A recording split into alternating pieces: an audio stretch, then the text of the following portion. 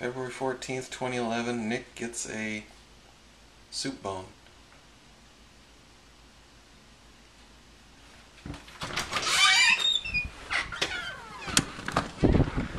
Did you get a bone?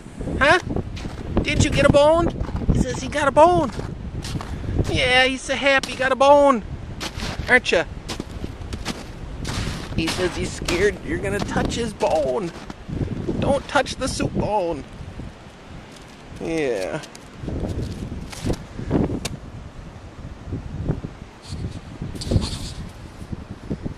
He doesn't like the camera. Nick and the soup bone.